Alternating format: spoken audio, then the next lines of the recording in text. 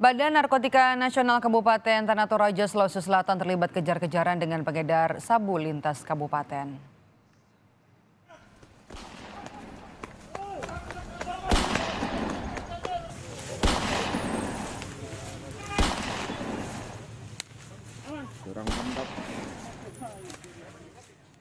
Petugas beberapa kali melepaskan tembakan peringatan saat mengejar pengedar sabu yang terjun ke sungai untuk menghindari penangkapan. Pelaku berinisial YR diburu setelah pihak BNN mendapatkan informasi dari masyarakat dan kemudian petugas menyamar untuk menyergap pelaku.